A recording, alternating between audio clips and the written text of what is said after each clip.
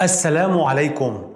Hello and welcome to another video in the Arabic language school with Mohamed Saleh. Today we will study the single, dual and the plural forms of Arabic nouns. Subscribe to my channel to learn the Arabic language together. We put simple lessons like this one. Let's start. The nouns in Arabic language are divided in terms of numbers to the single, al-mufrad, the dual, al-muthanna, and the plural, al-jam'. The single, al-mufrad, is any name that indicates one male or female. The word mufrad comes from the root farada to become one or unique. We say farid is unique, one of a kind. So the meaning of mufrad is one alone in Arabic. We use the demonstrative pronoun هذا with the single male. هذا ولد. This is a boy. And هذه for the single female. هذه بنت. هذا and هذه is called أسماء الإشارة. The demonstrative names. They are considered as nouns in Arabic, not pronouns as English. Then in Arabic we have special form called al-muthanna from the number اثنان two. Muthanna اثنان. The dual is any name that indicate two nouns, males or females. It is made by adding the suffix alif plus noon an at the end of the noun. Walad, one boy. Waladan, two boys. Waladan. Bint, one girl, becomes bintan. Bintan, two girls. Shajara is single, which means tree.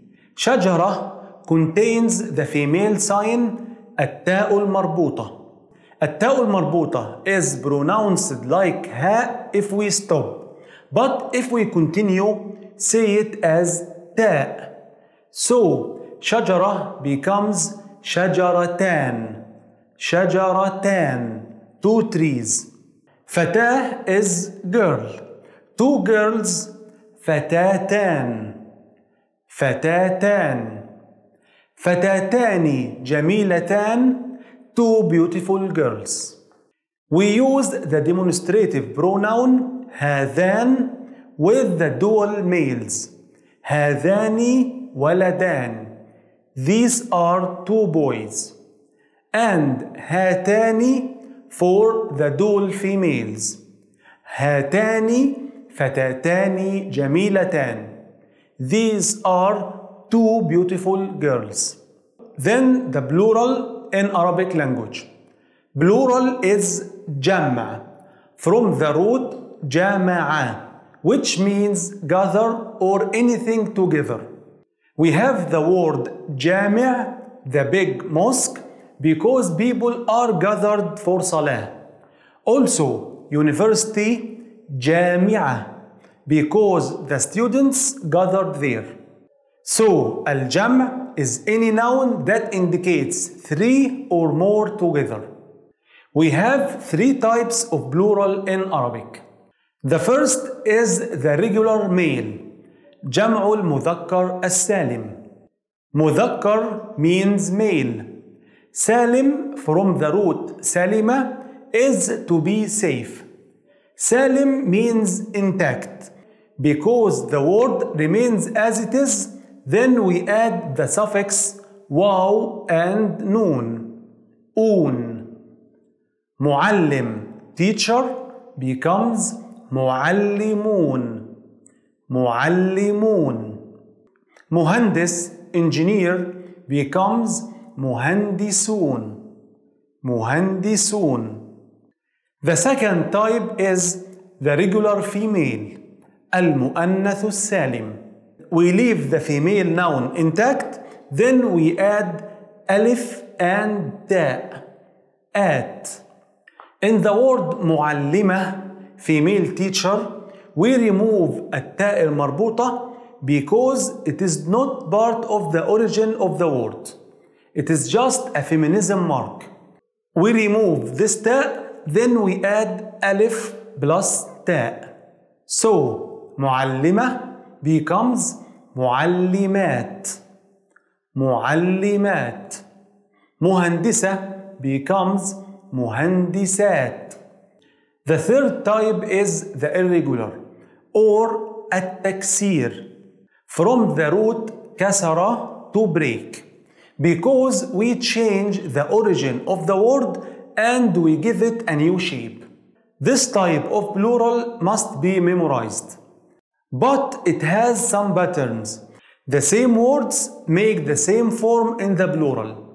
صوت voice becomes أصوات. خبر أخبار. أصوات and أخبار take the same pattern. Also, مصحف becomes مصاحف. مسجد becomes مساجد. مساجد and مصاحف the same pattern. We use the demonstrative noun هؤلاء for all the plural forms. We use هؤلاء to indicate the people. هؤلاء مدرسون. هؤلاء مدرسون. هؤلاء مدرسات. هؤلاء مدرسات. هؤلاء تلاميذ. هؤلاء تلاميذ. But if they are objects or animals, we use هذه.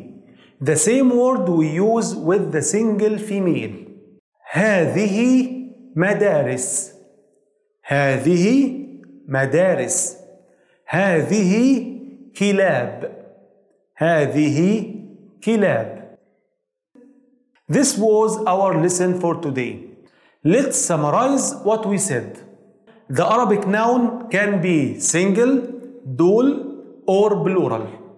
We refer to the single male by the demonstrative هذا for male and هذه for female. The dual form is used to indicate the two. We add alif plus noon at the end of the word. طالب becomes طالبان. أسد becomes أسدان. دولة دولتان. To indicate the dual noun, use هذان for the dual male, هذان ولدان, or هاتان with the dual female, هاتان فتاتان. The plural can be male regular, جمع مذكر سالم. We add واو plus noon at the end of the word.